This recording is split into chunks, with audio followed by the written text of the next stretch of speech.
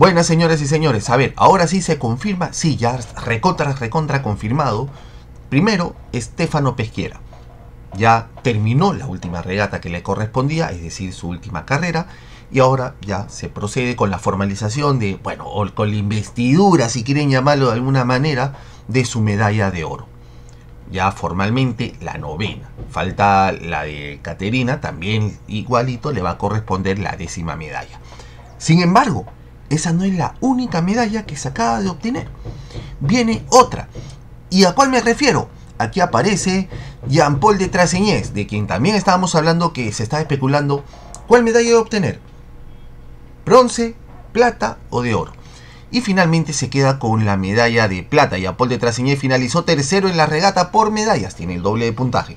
Por detrás del canadiense Parkhill y delante del chileno González y se quedó con el segundo puesto de la general sumando la quinta medalla plateada para el equipo Perú. Y acá indican, y pesar que en un momento estaba lejos, bien carajo. Bueno, sí, estaba lejos, pero ya se queda con medallita de plata y ampol de Traseñez.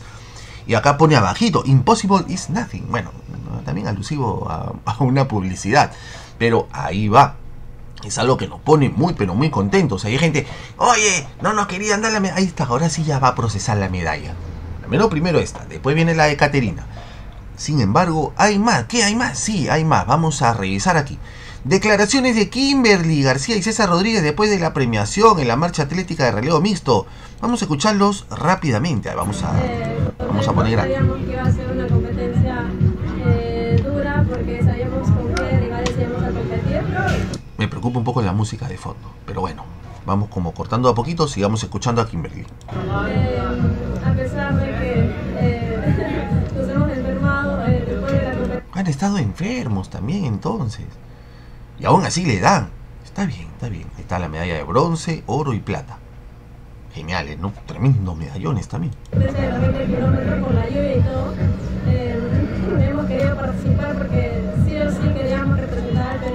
y. Y lo hicieron. Y sacaron la medallita, ¿no? Hay gente que ahora está con el tema, oye, si no es oro no vale. No, claro que vale. ¿Cómo que no vale? Por supuesto que vale. Y el, y el reconocimiento está ahí. Sí, porque esta de los relevos mixtos recién se ha incorporado en Santiago 2023. Mira tú, no se querían quedar fuera. Sí, yo sé, hubiese sido más bonito incluso el oro, pero ahí va la cosa. textos, ¿no? Entonces, para saber más o menos cómo iba a ser y poder este, Y ya saben, pues, ¿no? Ya lo tienen recontra mapeadito también. De plata para el Perú. Gracias Kim por todo tu esfuerzo y felicidades y éxitos en tu carrera. César, cuéntanos, eh, esta nueva modalidad, ¿cómo te sentiste en esta carrera y en este circuito?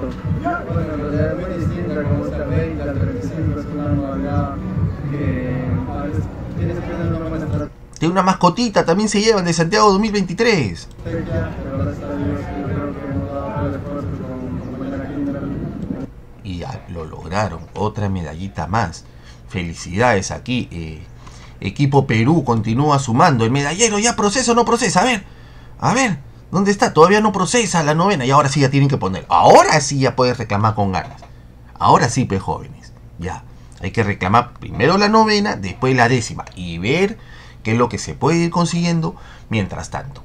¿Hay más noticias? Sí, hay más noticias por aquí. No quería que se me escape porque había algo más.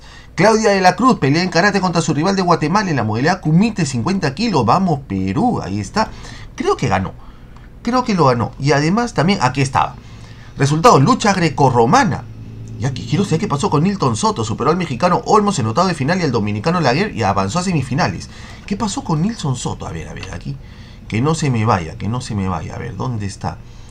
Nilton Soto, perdón. Vamos a ver dónde está. Nilton Soto. ¿Qué pasó con Nilton Soto?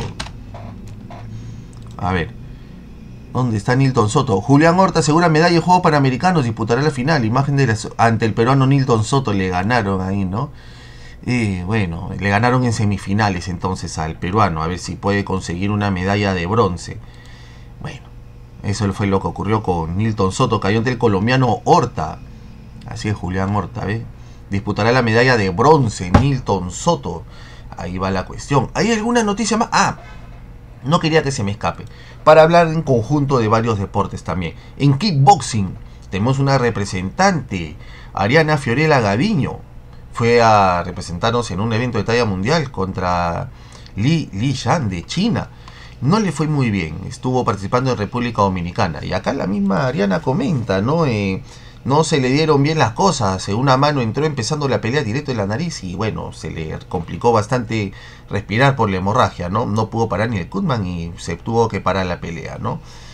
Así que eso fue también para hablar un poquito. Creo que esto es kickboxing. Así que hablar un poquito de los representantes peruanos que no son los panamericanos, en diferentes lugares también están todos los representantes del Perú. Así que ahí vamos, nueva medalla, ya se formaliza la de oro Estefano Pesquiera y también la de la de Jean Paul de Traseñez, medalla de plata para Perú. Hablamos gentita, cuídense, chuchu, chuchu. Y vamos por el karate, vamos a ver qué pasa.